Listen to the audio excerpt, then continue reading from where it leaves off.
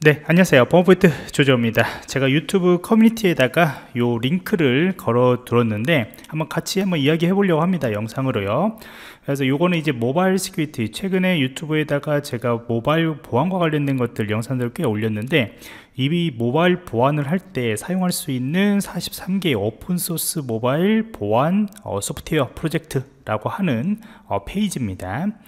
어, 여기 보시면 이제 오픈소스로 되어 있는 거 특히 이제 파이썬으로 많이 되어 있어요 그리고 저도 이제 파이썬으로 된 오픈소스 도구를 중심적으로 어, 보고 있고요. 어, 다른 언어들을 잘 모르니까요. 뭐 Go 언어로도 최근에 이제 Go 프로그램으로도 많이 되는데 사실 파이썬이 월등적으로 많다.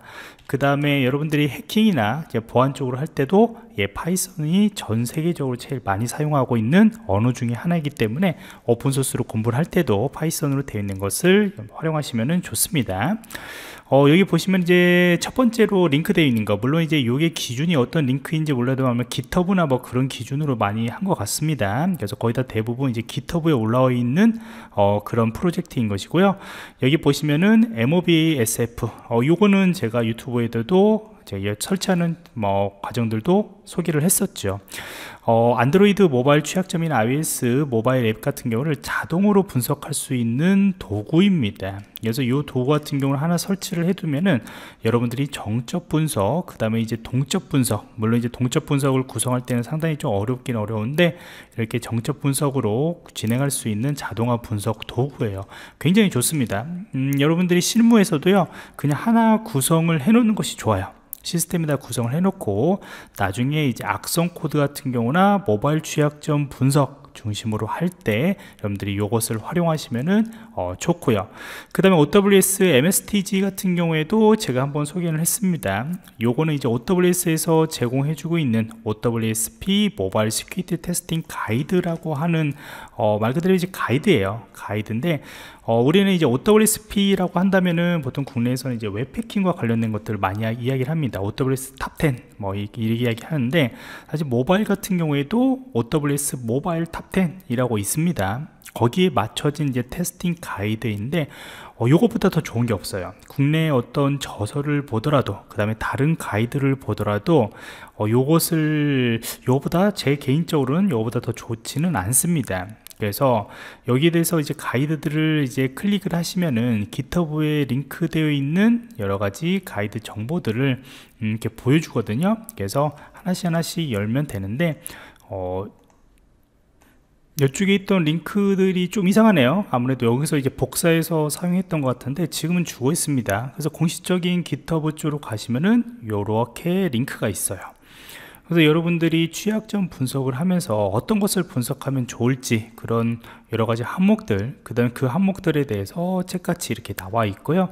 이 가이드 같은 경우에는 여러분들 한글로도 번역을 했습니다. 어, 제가 현재 여기는 이제 어, 참여를 하고 있기 때문에 OWASP MSTG라고 하는 가이드는 한글로도 번역이 되어 있다. 그래서 여러분들이 참고를 해주시면 됩니다 그 다음에 제가 이제 추천하는 이제 도구 같은 경우에는 바로 이제 RMS Runtime Mobile Security라고 하는 것인데 요거하고 Frida하고 좀 같이 보셔야 돼요. 저희가 Frida 같은 경우에는 이제 JavaScript 기반의 그런 어, 스크립트 기반의 hooking 프로그램인데 이 Frida 같은 경우에가 앱 취약점 진단할 때 굉장히 많이 씁니다. 물론 이제 앱 취약점 분석뿐만 아니고 Windows 그런 취약점 분석할 때도 사용하고 있는 도구인데 정말 요거만큼 좋은 것이 없다라고 할 정도로 어, 있어요 그래서 이제 보안 프로젝트에서도 Frida를 활용한 웹 모의해킹 과정을 별도로 이제 과정들을 개설을 했던 이유이고요. 이 Frida의 기반으로 뭔가 좀 더 더 자동화 분석할 수 있는 것, 그 다음에 웹 인터페이스로 여러분들이 바로 확인할 수 있는 도구가 바로 이제 RMS라고 하는 도구입니다. 바로 이렇게 페이지를 여러분들이 어, 이거는 유튜브네요. 유튜브하고 링크 되고요.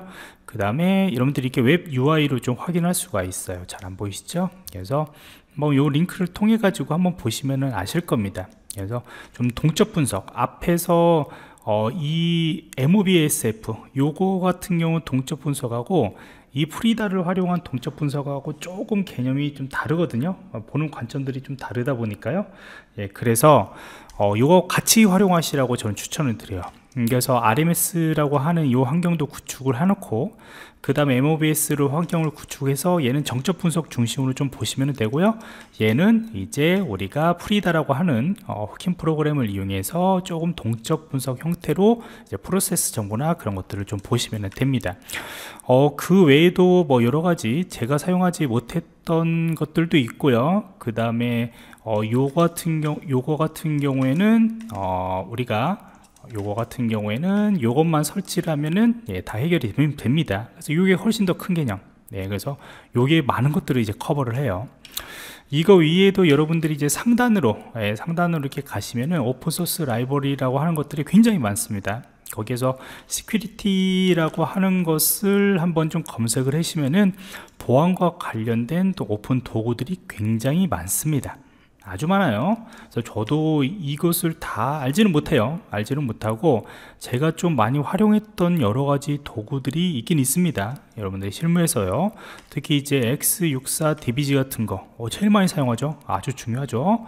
그 다음에 MITM proxy 같은 경우에는 저희가 ARP 공격이나 그런 것들 할 때 사용하는 것이고 그 다음 최근 AIP 스퀴티하고 관련된 것들이 굉장히 중요하죠. 예, 뭐 핀테크 같은 경우나 그다음 데이터 마인 같은 거 할 때 거기 관련된 그런 보안을 점검을 할 때 그다음 요 같은 경우에도 reverse engineering 분석 도구 할 때 아주 많이 사용을 하고 있고요. 그래서 쭉 사용을 하고 있, 쭉 사용을 보면은 어, 사실 여러분들이 이제 보안을 공부하던 어떤 걸 공부하던 지금 오픈소스가 너무 잘 돼 있어서 사실 상용화 도구를 사용하지 않아도 이제 실무에서도 오픈소스 도구에 대한 활용은 점점 높아지고 있거든요 물론 이제 상용 도구에 대한 그런 요구 사항들이 충족되지 않으면은 오픈 도구를 이제 관리 측면에서는 좀 사용하기도 힘들긴 하는데 이런 분석 도구나 그런 것들은 실무에서도 그대로 사용을 합니다. 라이센스에 대해서도 어느 정도 자유롭기 때문에요. 그래서 공부할 게 굉장히 많죠. 네, 저도 사실 오픈 도구만을 이용해서도 강의를 몇 개 정도 만들어낼 수 있을 정도로 아주 좋은 도구들이 많이 있어요. 여러분들도 한번 이 링크를 통해 가지고 하나씩 하나씩 시간 될 때마다 직접 실습하는 게 더 좋겠죠? 예, 그래서 한번 실습을 해 보시면서 또 한번 활용해 보시면서 여러분들의 반복론에 한번 적용을 해 보시면 좋을 것 같아요